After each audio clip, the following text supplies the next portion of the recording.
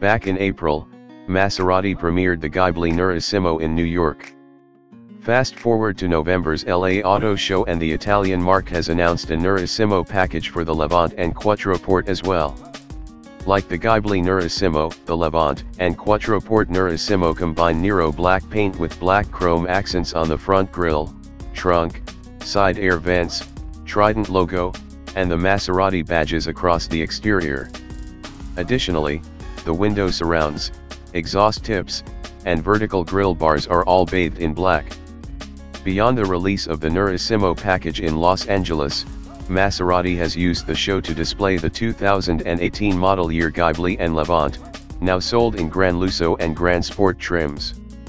The Gran Sport line aims to cater towards owners looking for a sportier than usual experience with their Maserati. By comparison, the Gran Lusso trim includes Ermenegildo silk or full premium Italian leather upholstery as well as wood trim throughout the cabin. Another small announcement made by Maserati in LA is that electric power steering has replaced the hydraulic power steering system of the Ghibli, Quattroporte, and Levante.